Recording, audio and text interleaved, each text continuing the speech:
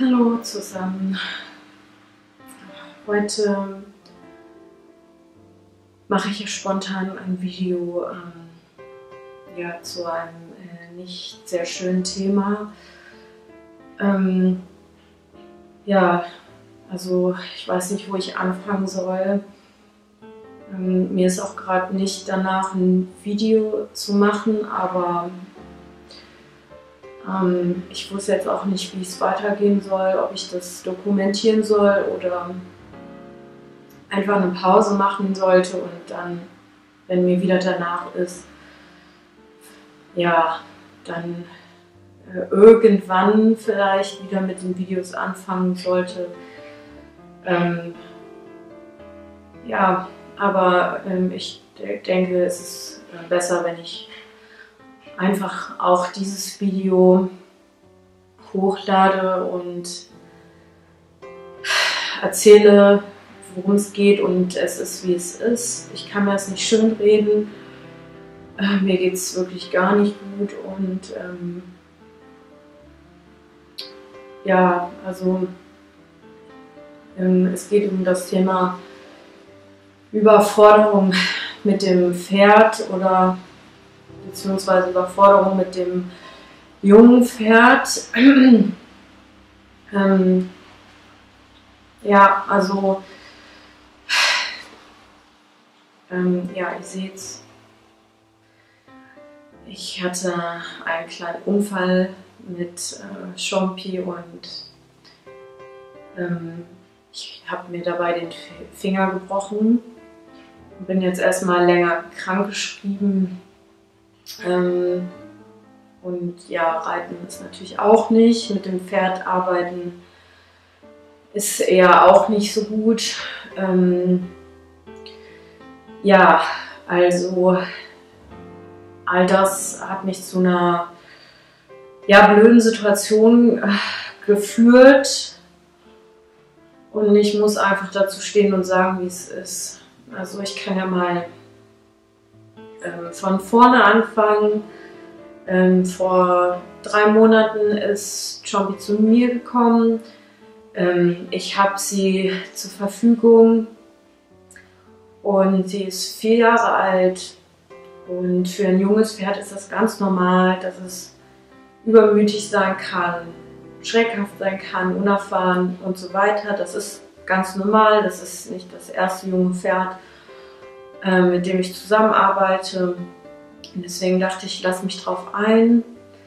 Ähm, vorab habe ich natürlich auch ähm, ja, so ein Kennenlerngespräch gehabt und ähm, es wurde halt gesagt, äh, ja, dass die Stute äh, sehr lieb ist, kooperativ, äh, sensibel zwar, dass sie zum Beispiel ab und zu mit den Zähnen knirscht, aber sonst kann man alles mit ihr machen Verladen und so weiter, alles kein Problem.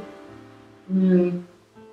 Ja, und ähm, Plan war auch, äh, irgendwann vielleicht im Sommer oder so auch mal ein Turnier zu gehen.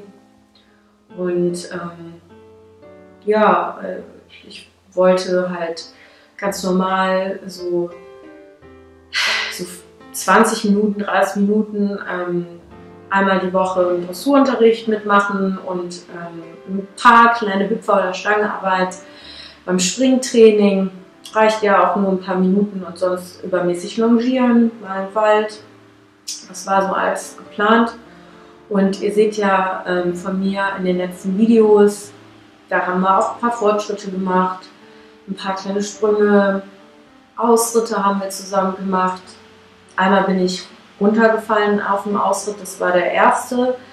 Da hat sie mich im Galopp abgebuckelt.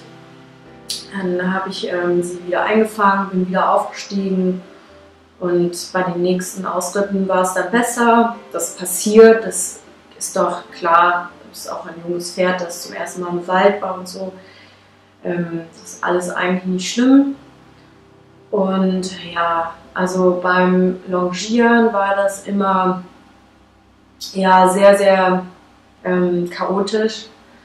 Also ähm, egal, ob ich in die Longierhalle, in die Überdachte gegangen bin oder auf dem Platz oder dorthin, dahin, ähm, sie ist am Anfang ja, wollte sie nie erstmal einen hohen Schritt gehen, sondern kaum hatte ich halt so ein bisschen Abstand zu ihr ähm, und die Longe wurde so ein bisschen länger, ja, ist sie erstmal durchgegangen und ähm, war dann auch nicht wirklich so ansprechbar. Also das heißt, sie ist da ihre Runden gelaufen und wollte sich auch ab und zu mal losreißen. Und ähm, ja, dann habe ich ja gegengehalten und irgendwann, wenn die da sich ausgebockt hat und galoppiert ist wie am Spieß, dann ähm, ja, konnte man halt auch besser mit ihr arbeiten, aber also es hat sich da auch nichts verändert. Also ich dachte, klar, also neues junges Pferd, das muss sich an die Umgebung gewöhnen, ist auch Stress und so weiter. Dann ähm, habe ich gedacht, ja, das macht man einfach regelmäßig und nach ein paar Monaten ähm, gewöhnt das Pferd sich daran und man führt erstmal Schritt in allen Ecken und vielleicht ist auch manchmal besser, noch ein anderes Pferd dabei zu haben. Also hat oft auch eine Freundin ihr Pferd nebenbei longiert, das zum Beispiel lieb war ähm, und vielleicht eine positive Ausstrahlung dann auch hat auf die Chondi. Ja, nichtsdestotrotz war es halt immer dieselbe Prozedur. Und auch wenn ich halt zuerst wirklich halbe Stunde oder so ähm, Schritt geführt habe, ja, ähm, ja, ob mit Trense, mit Kappzaum, ausgebunden, unausgebunden, mit Halfter, es war immer dasselbe Szenario. Ähm, ja, einmal hatte sie ja, Trense und Gebiss halt drin beim Longieren und wollte sich dann wieder so losreißen und war nicht mehr zu kontrollieren, bis dann ihr Maulwinkel geblutet hat und ja, das geht gar nicht, klar. Habe ich auch nie wieder gemacht, auch nicht mit der, mit, ähm, der Longierbrille und so weiter. Ja, das bringt einfach gar nichts. Ähm, die ist dann wirklich wie im Tunnel und ja, ist dann erstmal nicht ansprechbar den ersten Minuten. Und deswegen habe ich dann auch ähm, eher nur noch mit Kappzaum longiert und so weiter. Ja, gut habe ich mir nichts bei gedacht. Beim Reiten war es so, auf dem Außenplatz war sie ein bisschen ruhiger. In der Halle war es eigentlich immer ätzend, also sie irgendwie mochte sie die Halle überhaupt nicht. Ähm, ja, und kaum war irgendwie ein kleines Geräusch zu hören etc., war sie dann auch wieder total angespannt und rollt sich ein und die Muskeln verkrampfen und ähm, habe ich gedacht, ja, dann geht man erstmal ein bisschen Schritt. Aber alles in allem hat man gemerkt, okay, die war da auch wirklich nicht sehr zufrieden mit dem Zähneknirschen, das war am Anfang ähm, dauerhaft, egal ob am langen Zügel mit der Trense und dem Gebiss, im Schritt, zum Beispiel bin ich dann auch manchmal nur 20 Minuten Schritt am langen Zügel gegangen, hat sie trotzdem geknirscht. Ich habe mehr Sättel ausprobiert. Ich hatte mehrmals den Tierarzt da, zwei verschiedene Sättler, Hufschmied, Zahnarzt. Ich habe fünf Gebisse ja, mit Reithafte ausprobiert. Ähm, Osteopath war auch da. Ja, und da wurde halt gesagt, ähm, eigentlich, sie hat keine Schmerzen, klar, so ein Jungs hat auch manchmal Wachstum und so weiter. Aber dass es sich schon mental, ähm, ja, dieses Problem da so etabliert hatte bei ihr. Also wenn zum Beispiel irgendeine Kleinigkeit war ähm, und sie sich erschrocken hat oder sie ja so ein bisschen vorangetrieben wurde, da macht sie eigentlich zu und fängt wieder mit dem Knirschen an und ähm, möchte da auch ungern mit aufhören. Also ich hatte ja dann am Ende das also Gebiss, so ein D-Ring-Trense ohne Hebelwirkung mit ähm, Rolle in der Mitte zum Spielen für die Zunge.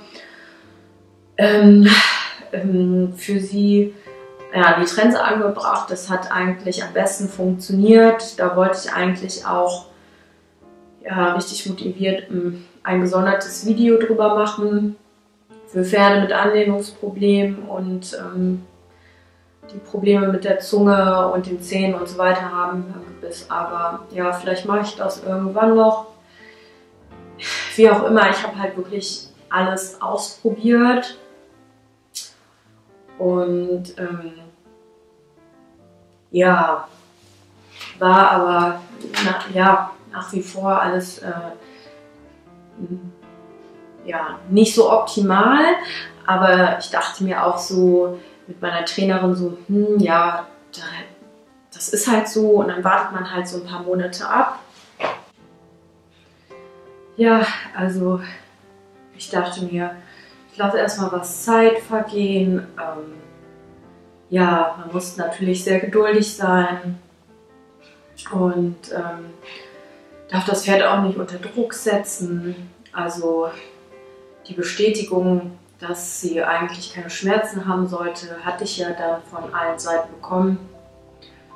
Und wie gesagt, kleine Fortschritte gab es ja dann auch.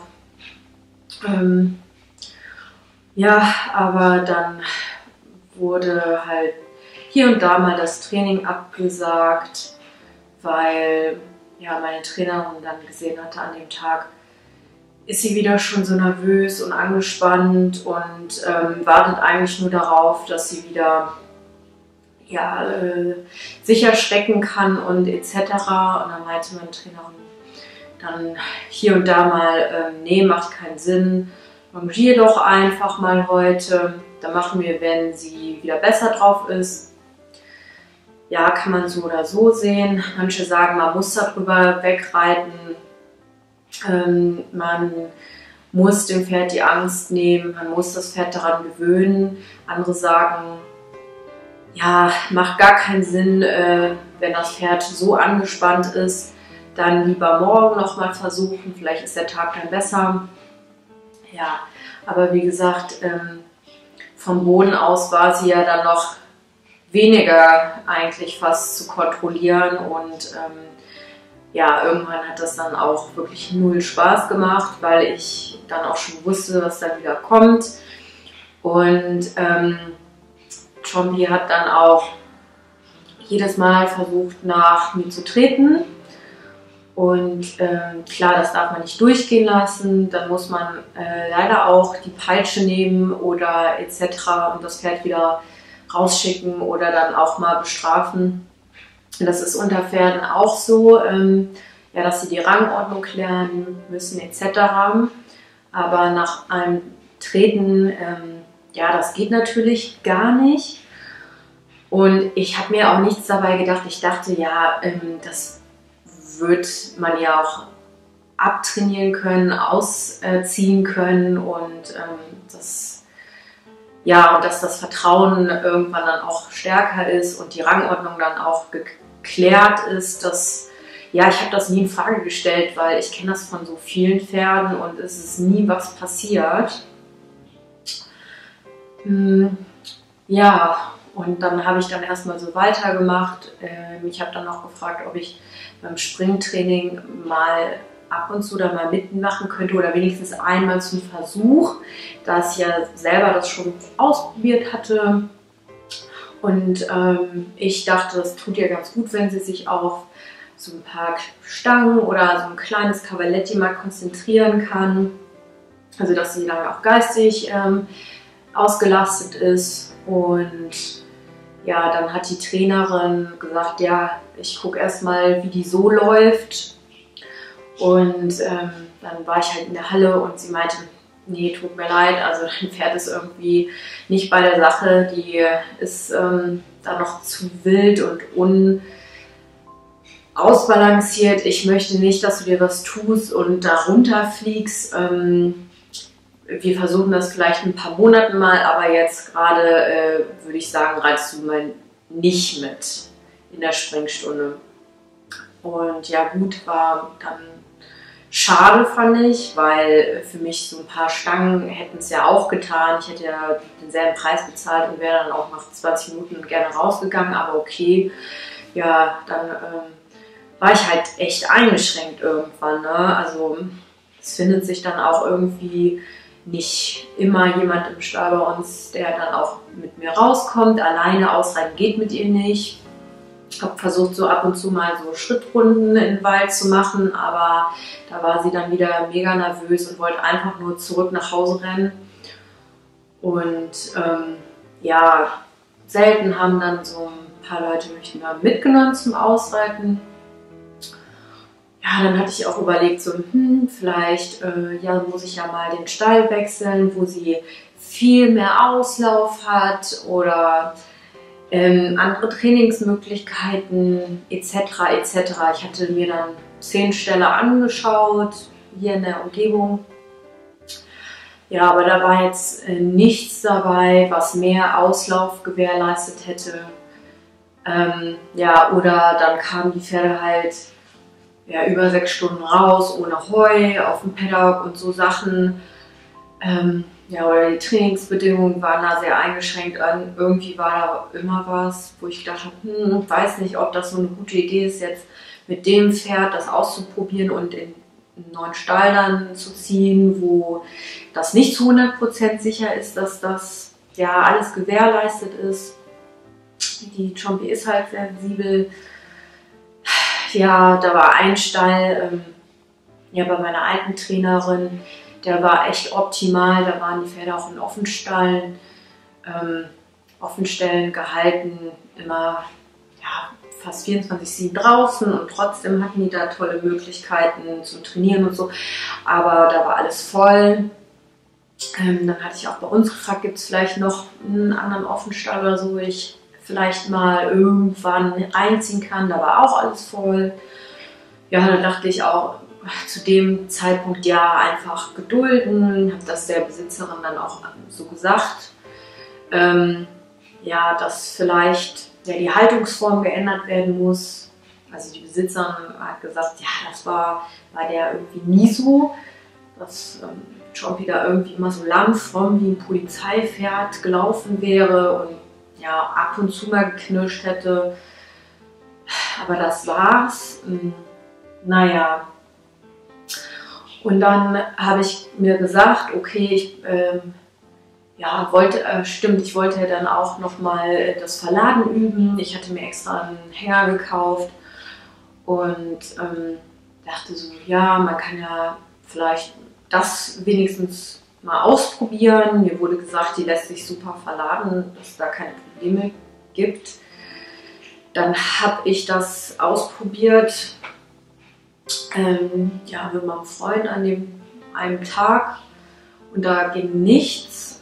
Also wir haben uns auch echt lange Zeit gelassen, ähm, Heunetz gestopft, ähm, Futter mitgenommen. Ich habe sie lange den Hänger auch anschauen lassen, ähm, mit Begrenzen etc. Sie wollte nicht drauf und ähm, hat zwar den Kopf da so hingestreckt, aber dann ist sie oft seitwärts runter, wollte einfach, hat sich umgedreht, wollte weglaufen und ähm, etc. etc. Ja, war dann auch in der Realität wieder ganz anders als ja in der Erzählung.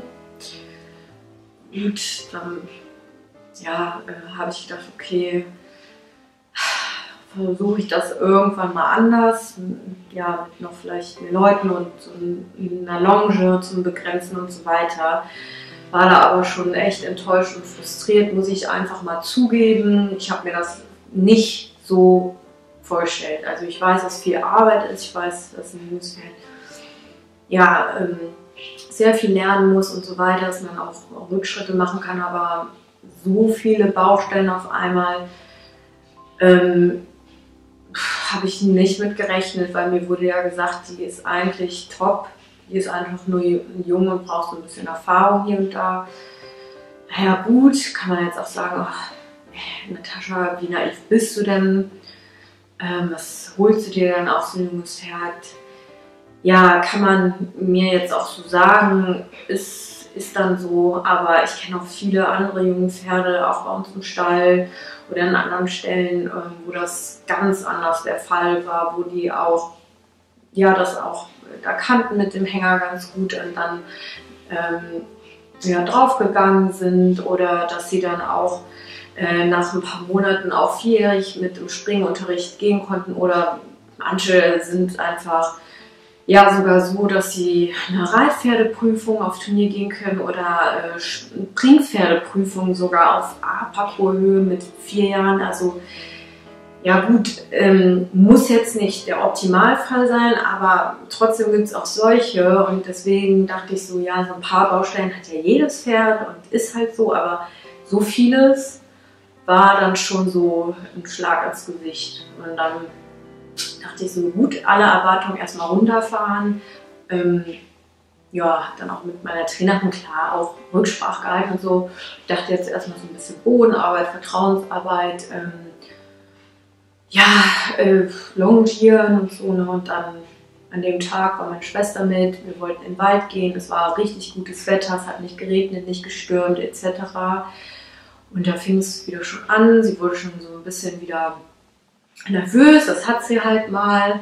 Und dann gehen wir so weiter. Und dann habe ich auch versucht, klar, die immer wieder ja, anzuhalten, anzusprechen, wieder dran zu treten, rückwärts zu richten etc. Also naja, so ein bisschen das Kommando mal anzugeben und dann waren wir auf dem Springplatz, da waren noch Pferde etc. Ähm, nebenan auf den anderen Plätzen und dann äh, ja, habe ich schon gesehen, wie sich wieder die ganze Muskulatur anspannte und da wusste ich schon nicht so, ja, soll ich die jetzt laufen lassen oder nicht? Around Pen ähm, geht bei uns nicht, ist ähm, im Winter immer matschig. Ja, und dann dachte ich so, aber die ist so heiß, die hat so viel Energie und ist jetzt so angespannt, die muss eigentlich laufen. Ähm, ja, und dann habe ich, ähm, wollte ich sie das rausschicken, dass sie so einen Zirkel um mich läuft und da war sie schon direkt ähm, wieder am Abgehen, wollte durchgehen, wollte sich losreißen. Da habe ich sie ja versucht nochmal unter Kontrolle zu kriegen ähm, nochmal durchpariert und dann wollte ich sie nochmal rausschicken und habe ihr auch, also ja, naja, versucht sie zu beruhigen, aber trotzdem auch streng durchzugreifen und mit der Peitsche zu begrenzen, falls irgendwie was ist. Und dann ähm, äh, ist sie vorne hoch, hinten hoch und ähm, das waren wenige Meter von mir entfernt und hat richtig doll ausgetreten und auf mein Gesicht gezielt. In letzter Sekunde habe ich dann meine Hand so schützend vor mein Gesicht gehalten und da hat sie ja meine Hand getroffen, mein Finger. Ähm, da konnte ich sofort äh, nichts mehr bewegen und ähm, Chombi hat sich losgerissen mit der Longe, ist dann über den Platz gelaufen ähm, und wollte über den Zaun springen. Da habe ich noch meine Schwester zugerufen halt sie auf ähm, und scheucht sie weg etc. Meine Schwester hat irgendwie ja, die dann eingefangen, versucht zu beruhigen, aber da war sie auch schon wieder ja, völlig im Tunnel und es wollte sich da wieder losreißen, ist nur galoppiert. Ähm, ja, dann äh, haben wir sie in den Stall geführt. Meine Schwester musste dann alles abmachen, weil ich konnte meine Hand nicht mehr bewegen. Und ähm, ja, dann sind wir direkt ins Krankenhaus, geröntgt, ja, gesagt, ähm, der Finger ist gebrochen und das äh, Finger, der Zeigefingergelenk, das ist auch gebrochen. Also das ist hier, genau dieses Gelenk und der Finger an sich hier, also der untere Teil, da genau. Ähm, ja, und das dauert natürlich jetzt erstmal so vier bis sechs Wochen, bis das Gehalt ist. Ja, und dann äh, sollte ich aber nochmal zum Handchirurgen, weil der Bruch jetzt nicht so einfach, so eindeutig war. Ja, dann bin ich dann halt noch am, am nächsten Tag zum Handchirurgen in die andere Klinik gefahren. Das hat dann nochmal vier Stunden gedauert mit dem ganzen Hin und Her. Auch nochmal CT gemacht. Da meinte die Ärztin so, ja, sieht so aus, als müsste es operiert werden, weil das Kugelgelenk ähm, rotiert und ähm, das sein könnte, dass man da nicht mehr irgendwann so richtig eine Faust machen kann. Ja, da war ich dann auch erstmal ein bisschen fertig, aber nach dem CT meinte sie, wir sollen das erstmal ohne OP so lassen. Es könnte, sieht eigentlich so aus, als würde das verheilen, vielleicht mit einem kleinen optischen Unterschied zu der anderen Hand. Ähm, aber ähm, sie meinte, sie denkt, wir können uns eine OP sparen. Ja, wie auch immer, ich war da mit den Nerven am Ende. Ich habe mit meinem Freund geredet, mit meiner Schwester, mit ähm, anderen Freunden, die Pferde besitzen. Und ähm, ja, dann haben wir alle eindeutig geraten, also von meinem engeren Kreis, ähm, gibt das Pferd wieder ab. Ähm, ja, also ich ähm, war da erstmal richtig überfordert, ob das eine gute Entscheidung ist. Ich meine, ich wollte das mit dem Pferd, äh, ich wollte es mit dem jungen Pferd. Ähm, eigentlich gebe ich ein Pferd nie direkt auf. Ähm, ich habe mit dem Lino und etc. immer Jahre gearbeitet. Eigentlich hat man immer einen Weg gefunden, aber mir wurde dann klar, als ich auch mit vielen anderen geredet habe, das ist ein harter, langer Weg mit so einem Pferd was in jungen Jahren halt schon sehr viele Baustellen hat, ähm, mit dem Zähneknirschen etc. und dass die dann oft auch geistig so ein Tunnel ist. Ähm, das hätte alles vielleicht gut gehen können, vielleicht in einem anderen Stall mit einer anderen Haltungsform etc. Äh, hätte auch nicht sein können. Jetzt fragen sich bestimmt viele, ja, warum holst du denn nicht einfach einen Bereiter? Das macht doch jeder mit einem jungen Pferd. Ähm, ja, die war ja ein Beritt und da kam die dann halt ja, mit dieser Macke da raus, dass sie angefangen hat zu knirschen. Also die ist wirklich hochsensibel und man kann sich da auch draufsetzen und ähm, einschüchtern und dominant sein, aber das finde ich bringt bei dem Pferd ja überhaupt nichts. Ähm, und ja, keine Ahnung. Also klar, mein Trainer hätte gesagt, das, das hättest du geschafft und, und so weiter. Aber wie gesagt, ich habe mich da wirklich äh, oft hilflos gefühlt und ähm, da und dort konnte ich dann halt nicht im Unterricht mitreiten etc. Ähm, ja, ich finde im Nachhinein lässt sich das immer so einfach sagen, ja, ach, so schlimm war das doch nicht, hätte man doch immer geschafft. Aber ich habe einfach überhaupt gar kein gutes Gefühl. Ich ähm, bin dann einfach nur noch mit Angst in den Stall gefahren ähm, immer mit der Sorge, so heute könnte sie wieder explodieren, heute könnte ich mir wieder irgendwas brechen, etc. Und ähm, irgendwer kriegt es irgendwie immer hin mit jedem Pferd, aber es ist einfach die Frage, wie viel Nerven hat man selbst dafür, wie viel Zeit und Geld will man dafür investieren und das war einfach für mich einfach, ich habe mir das einfach anders vorgestellt, äh, nach den ganzen Angaben etc und der Erfahrung auch, die ich mit so anderen jungen Pferden mach, gemacht habe, die man so ungefähr vergleichen konnte. Im Endeffekt ist jedes Pferd individuell, man kann nichts vergleichen, ist halt so. Kann jetzt auch verstehen, dass jetzt viele sagen so, oh nee, das geht gar nicht, äh, wie du da handelst und äh, das ist ja echt fahrlässig und jetzt ist das Pferd da extra angeschleppt worden, jetzt muss das wieder zurück, äh, etc. Klar, das ist mega schlimm. Also was passiert jetzt mit ihr? Wird sie einen guten Besitzer kriegen? Keine Ahnung. Das ist einfach scheiße. Und ähm, es ist mir mega unangenehm und ich fühle mich auch wie ein Versager irgendwo, aber ich muss mir das einfach eingestehen. Ich muss ehrlich zu mir sein, das bringt einfach nichts, dass man das, wie ich das jetzt immer gemacht habe, einfach runtergeschluckt habe und so die Stärke gespielt habe. Es bringt einfach nichts. Das weder dem Pferd geholfen noch mir. Ähm, es ist eigentlich Reiten ist meine Leidenschaft, mein Hobby und ich möchte ja wieder Vertrauen zum Pferd haben und ja, ist halt echt nicht gut gelaufen. Vielleicht hätte ich das nie ausprobieren sollen, ich weiß es nicht, aber eigentlich mh, hm, wer nichts wagt, der nichts gewinnt. Ähm, eigentlich hieß es wirklich so, da passt das alles und, und ja, die ist jetzt auch bereit, jetzt äh, bald irgendwie aufs erste Turnier zu fahren etc. Ja, naja, gut. Die Realität sieht dann doch anders aus. Also ich weiß jetzt ehrlich gesagt nicht, wie es weitergeht. Bei mir ähm, ja, das macht mich unfassbar fertig und super traurig, weil so ein Pferd oder so ein eigenes Pferd, das war äh, immer mein großer Traum. Ja, ich wünsche mir, dass ich vielleicht irgendwie irgendwann irgendwo dieses Pferd finde, das gut zu mir passt, das äh, vielleicht äh, ja etwas ja, aus, ausgebildeter ist, ähm, ja nicht so viele Baustellen hat, wo man ja vielseitig ähm, reiten kann, ab und zu. Ja Dressur, ein bisschen springen wäre schon schön, das macht mir auf jeden Fall sehr viel Spaß. Gelände, Turnier, ja, das wäre auf jeden Fall mein Traum. Aber so schnell ähm, weiß ich nicht, ob ich das ja, realisieren kann, ob ich dieses Pferd dann finde. Ich muss jetzt ja